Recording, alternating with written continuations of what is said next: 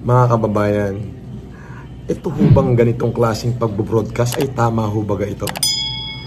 Talaga namang si Marcos ba yan? Mayaman challenge. Oh, ganun ang style niya. Anong masama sa style ko, Mr. Arnold Clavio? Ah, may masama sa style ko? Mr. Clavio, kahit minsan hindi ako nang hingi ng donasyon, baka ikaw. Ha? Oh, eto, panoorin mo tong video clip ko. Sana sagutin mo. Alam mo kung bakit? Aaraw-arawin kita. Sinimulan mo ko.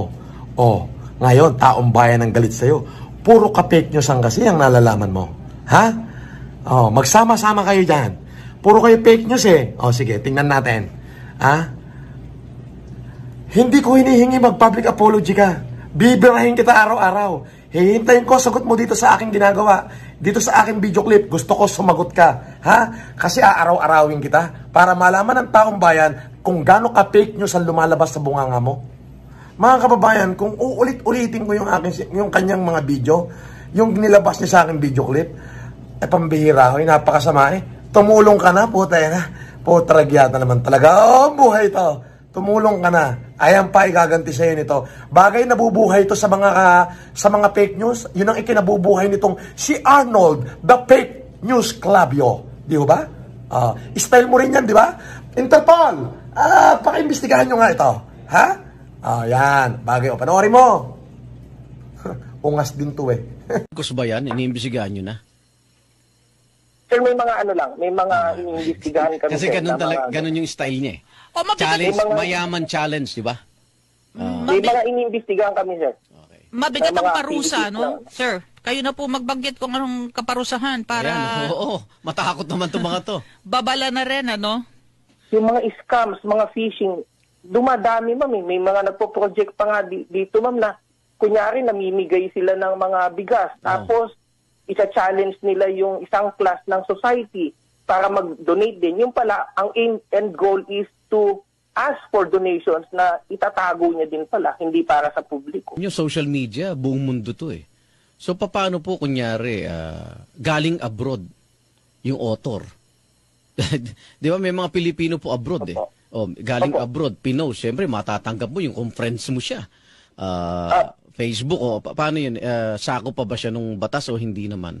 Uh, yes sir, may jurisdiction Meron kasi tayo dun sir regardless kung nasaan, kung nasaan yung location ng tao. For as long as either yung complainant or yung subject nandito sa Pilipinas, sir. Alam nyo, uh, kailangan talaga kayo dahil ang daming oras po ng mga taong matataba ang utak. Mm. Para, di ba? Ang daming oras no, pero nila. Pero alam eh. mo, ang, Oo. ang Pangulo na mismo ang nagsabi yes. na uh, kung sa mga tao na mga hindi masaya kung yung sa nakukulangan sa response ng pamahalaan uh, dito sa uh, COVID-19, you are free to criticize.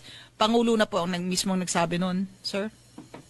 Uh, yes, yes ma'am. Tama, tama yun, ma'am. Kasi yun yung, di ba ma'am, dalawa pwede eh. Pagka mag-criticize ka, baka may katotohanan eh. Baka, baka maging whistleblower ka pa. Or makakontribute ka sa improvement, ma'am. Uh-huh. Kaya nga ma'am, sumusunod lang kami dun sa elements ng Article 154 sa kay saka yung Bayanihan Act. Kailangan... Tama ma'am si Sir Igan eh, ang daming malilikot ang utak ngayon ma'am. Kasi yung mga scams, mga phishing, dumadami ma'am eh. May mga nagpo-project pa nga dito ma'am na kunyari namimigay sila ng mga bigas. Oh. Tapos isa-challenge nila yung isang class ng society para mag-donate din. Yung pala, ang aim and goal is to ask for donations na itatago niya din pala, hindi para sa publiko. Si Marcos ba yan? Iniimbisigahan niyo na? Sir, may mga ano lang, may mga uh, iniimbestigahan kami. Kasi ganun, talaga, ganun yung style niya eh. Oh, challenge, mga, mayaman challenge, di ba? Uh, may mga iniimbestigahan kami, sir. Mabigat ang parusa, no? Lang. Sir, kayo na po magbanggit kung anong kaparusahan para... Ayan, oo, oo, matakot naman itong mga to. Babala na rin, ano? Ma'am, sa Article 154 kasi na Revised Penal Code, ang penalty niya lang, ma'am, is 1 month to 6 months or 200 to 1,000 na fine. Pero uh, ang considering na ginamit mo yung social media, ma'am, in relation yan dun sa Cybercrime Prevention Act. Mm. At yan, one degree higher. Ang penalty nun, ma'am, is 6 years, 1 day to 12 years. pagka Article 154 in relation to 10175. Eh, sa wala- Bayanihan Act, ma'am, medyo Wait, mas eh, mababa na. Ano, 10,000 sa pesos RPC, lang. sa Revised Penal Code, walang parang aggravating circumstance kapag kunwari, kamukha ngayon, di ba, national health emergency, tapos Crisis. saka ka pa nag, oo, walang parang aggravating circumstance na ganun. Ma'am, sa appreciation na ng court yon ah, pero yung ini-impose lang sa ah, Article 154, yung 1 month to 6 months, 200 to 1,000. Pero na, yung public kasi, ma'am, hindi nila nare-realize kung gaano kataas yung penalty pagka in relation to the Cybercrime Prevention Act kasi ginamit mo yung social media under Section 6 kasi ng article ng cybercrime, ma'am. Pwedeng 1 degree higher yung penalty mo. Ang 6, ang lumalabas nga, 6 years, 1 day to 12 years. Sa Bayanihan Act, mab- mabigat. Ah, medyo mas mababa, ma'am. 10,000. Pero ang 10,000 to 1 million ang multa. Opo. Oo. 2 months of ah, imprisonment. Or both. So, ibig sabihin, Yes, eh, maaring minultahan ka na, kinulong ka pa. ibig sabihin, Tama hindi po. lang PUIP, ah, PUM ang binabatay natin, pati itong mga KSP. Mm. Nagpapapansin lang iba dyan eh. Ay, Victor, eto, bago, bago kami magtapos eh, baka fan mo ito. Nagtatanong lang ta- kung taga Sorsogon City ka ba? Ah, sir, taga dito lang ako, sir. Ah, dito ka lang. Pero may mga kaibigan ako dun, sir. Ah, mukhang may kapangalan ka. Okay, thank you ha. maraming salamat Ingat. po. Salamat, sir. Salamat, you. ma'am. Salamat Ingat kayo. Victor Lorenzo, hepe ng NBI Cybercrime Division. Ah, ting Oo, fake news nga. Oo, laki ng ulo nun. Pantay ba mata nun? Hindi, ang sinasabi ko, yung arn-arn, malaki yung ulo na hindi bagay sa bata. Yung, ah, yung puppet? Yung puppet. Oo, yung puppet ang sinasabi ko. Oo. Pero yung kamukha niyang tao, yung nga si Arnold, may pa-imbestiga pang nalalaman eh. Hoy! Ano nalalaman ng tao na puro fake news ang nalalaman mo? Ha? Oo, sa about sa hospital, oo. Dinilit niya. Eh, kanina, pag, ngayon lang ngayon, mga bago ko bumaba ng building, tinawagan ako ni Rex kaya nung, nung target on air. Boss, may bira sa'yo dito. Pinorward sa akin yung video. Eh, kung hindi ba naman iinit ang dugo ko, eh, may, may nalalaman pang MBI. Ako daw eh, puro mayaman challenge daw. At ah, yun naman pala daw eh, kasyo, ganyan ganon. Pinangalanan pa ako, Marcos. O ayan, Arnold, laki, mata, labyo, fake news ka. Ha? O, sagutin mo to. Alam mo, kung wala kang gagawin para sa mamamayan natin, manahimik ka. Alam mo yon? Manahimik ka. Wala ka nang ginawa kundi magbalita ng fake news. Wala nang makikinig sa'yo. Hmm. Wala na. Alam mo ba, alos araw-araw na ginawa ng Diyos, puyat na puyat ako. Bakit? Araw-araw, daan-daan toneladang bigas. Araw-araw, magmula nung uno hanggang ngayon, 735 tons, tonelada na ang dinidispose ko. Pera pa to ngayon. Hmm? Kayo ang tanong ko, may nagawa ba kayo para sa maliliit nating mamamayan? Ultimo kulungan, lahat ng kulungan, pinagbibigyan ko na ng bigas. Ha? Ultimo yung ating mga volunteers. Lahat ng mga bayan, Quezon, lalawigan ng Pampanga, Bulacan, buong Cagayan, pati DSWD. Ha? Yung sinasabi mong mga society na china-challenge ko hanggang ngayon tulog pa, katulad mo. Oh. Galit na tao sa inyo kasi puro fake news ang nalalaman nyo. Oh. Katulad ng mga volunteers na to, naaalala nyo ba sila? Naalala ba kayo nila Arn Arn? Naalala ba kayo? O wala. Oh, eh, saan ka ngayon? Kawawa ka naman. Wala na manonood sa'yo. Lalo na yung puppet. Ako, wala manonood doon. Laki ng mata eh, di bagay sa ulo. Nakasalamin pa. Hmm. Ano? Imbestigahan mo nga yun. Naimbestigahan nyo ba yun? Naimbestigahan nyo na ba yung ano? Yung mga ano? Mga naglalabas ng fake news? Ha? Oh. Kakahiya ka, di ba? Ah. bagong gising ako, hindi pa ako nagkakape, hindi pa ako kumakain. Bumaba ako rito para masigurado ko na yung mga taga-anti-narcotic, yung mga volunteers natin at yung ibang humihingi ng tulong ay mabigyan. Ngayon, ngayong biyernes, Arn Arn, ngayong Friday, may darating ako rito.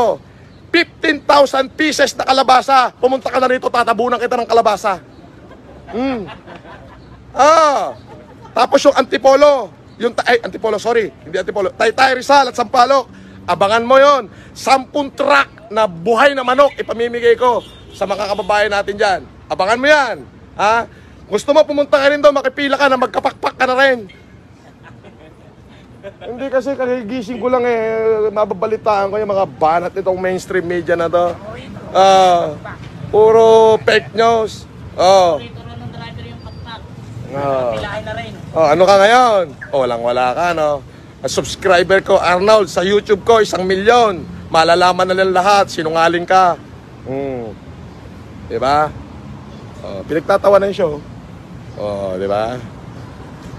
Oh, naniniwala pa pa kayo sa tao ngayon? Ay, di ba't hindi na? Oh, yon. Ah, kita mo. Oh. Yan ang sinasabi ko sa inyo. Bagong gising ako, makakatawagan ako ng isang radio broadcaster. Sabi, ah, si ano, Rex Kayano. Ah, Mia Francis, binibira ka ni ni Arn Arn at saka ni nung babae. Kaya, hindi ko na maalam, pinorward sa akin yung video clip. Ba, ay maanghang nga ang mga sinabi eh. Kailan pa nag pag alam niyo pagka may gumagawa ng mabuti, ginagawa niyo ng paraan para masira. Kaso hindi ako masisira eh. Bakit? Proven ang aking ginagawa. Naka, naka mo. Eh kayo, proven na yung mga bunganga nyo malalaki. Hanggang bunganga lang kayo. Oh, ang tanong ko, eh, kayo, kayo, kayo, kayo dyan, may ginawa na ba kayo para sa mga mamamayan? Anong ginawa nyo ngayong COVID? Wala, dumaldal. Ay di nakakahiya kayo, kawawa naman kayo. Di ba? Oh, ano, gusto mo pa? Hindi kita pagsasawaan. Bibigyan kita ng panahon. Ang style kasi nitong mga media na to, bibirahin ka. Pagbihang kayo. Oh, ang tanong ko, eh, kayo, kayo, kayo, kayo dyan, may ginawa na ba kayo para sa mga mamamayan? Anong ginawa nyo ngayong COVID? Wala, dumaldal. Ay di nakakahiya kayo, kawawa naman kayo. Di ba? Oh, ano, gusto mo pa? Hindi kita pagsasawaan. Bibigyan kita ng panahon. Ang style kasi nitong mga media na to, bibirahin ka. Pag habang binibira ka, darating yung kanilang mga alalay. Bigyan mo na lang eka para tumahimik na. Hindi, birahan tayo kung gusto mo hanggang sa matapos tong COVID eh. Kung gusto mo hanggang magunaw ang Pilipinas, magbirahan tayo eh. Di kita atrasan. Bakit? Ako ay totoo. Totoo ang aking ginagawa at aking sinasabi. Alam ng mamaya Ikaw, ano? Puro fake news ang nalalaman mo. O Ginaga bagay, hanap buhay mo yan, diyan ka kikita. eh. Kung hindi ka magsisinungaling, hindi mabenta, walang manonood sa'yo. Oh, tunay ka. Oh. Tunay kang sinungaling. Oh, yan. Alam ng taong bayan yan, oh, nakikinig sila, oh. Ikaw sa studio mo, audience mo lang, yung cameraman mo, eto, audience ko habang nagsasalita ako. Oh, yung mga mamamayan tumatanggap ng ating ayuda. Ah, ah, nakita, nakita mo? Ah, gusto mo ng hiyaan, o hihiyain kita. Mananawa ka sa akin, pauulunan kita ngayon.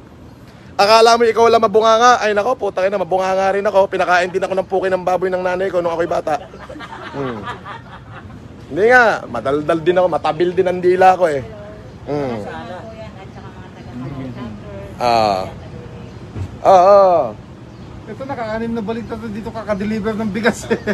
Ito, nakailang balik ka na rito. Anim na sir. Oh, ang nagda-deliver sa atin, Cagayan, ah, Bulacan, Nueva Ecija. Anim na balik. Eto na lang, tanongin natin, ito isang pahinante. Mga ilang sako na yung ibinaba mo sa akin? Hindi ko na mabilang sir. May mga dalawang libong sako na yun na ibaba mo sa akin? Hindi lang? Hindi lang. Ah, nakita mo. Isang delivery pa lang yan. Ha? Hin- hindi na raw niya mabilang kung ganong karami tapos sasabihin mong sasabihin mo na ako'y humihingi ng donasyon at itinatago ko yung donasyon ng mga bigas. Ikaw ay luko-luko. Bakit? Bakit ako hihingi ng donasyon? Sandamakmak ang pera ko. Ah, marami akong pinagkukunan. Ikaw, kung hindi ka dumaldal dyan sa studio mo, wala kang makakain. Hinahamon kita. Arn, arn, sunugan tayo ng pera. Ah. Hinahamon kita, pati yung kasamang broadcaster. Sige, sunugan tayo ng pera. Pag sinabi ko sunugan, uubusin natin, ipamimigay natin sa taong bayan. Ah, pakiwari ko, hindi lalaban to. Takot mabawasan ng kusing ang bulsa nito eh. Daldal lang ang nalalaman nito. Mm. Oh, bunga nga lang ang nalalaman nito. Mm. Tawagan nyo na si Facebook Philippine. Pa-take down nyo tong ano ko. Itong Facebook ko. Kasi habang nasa Facebook to, kahiya-hiya kayo habang buhay. Habang buhay kayo magmumukhang tanga, habang buhay kayo magmumukhang inutil sa harapan ng maraming tao. Habang buhay ko kayong kukutsain. Bakit? Eh ngayong may epidemya, imbis na tumulong kayo, puro ngaw-ngaw pa yung ginawa nyo eh. Sisiraan nyo pa yung taong tumutulong eh. Paano kung masiraan ako ng loob? Paano na itong mga mamamayan na umaasa sa atin na hindi nga kayang gabayan ng ating gobyerno dahil kulang ang ating ang ating ayuda mula sa national government. Ano, may masasabi ka pa? Yan ang sinasabi ko sa inyo. Huwag nyo ako sisimulan. Pag sinimulan nyo ako, pag naging umpisang tumabilang bunga ako, hindi nyo kayang awatin yan. Mm. Oo. Ah, ayan. Sabi niya, share natin to paulit-ulit mga ka-FLM para makita at malaman ng mga tao kung gaano ka-fake news si Arn Arn ng Channel 7. Yes! Patay ka ngayon, Arn Arn. May babash ka na ngayon, Arn Arn, ng mga supporter ko, Arn Arn. Dapat to ma- ma-caption to. I- i- sigurado ko i-delete tong o ano na to? Ha? Naka-live ako dyan, o. Yan. Naka... An- Ano sana po? Hindi. Nandiyan na po. Sasakyan. o, yan. Oo, yan po. Yan na po yung sasakyan. Ah, eto na yung sasakyan. Lalagyan ng bigas na galing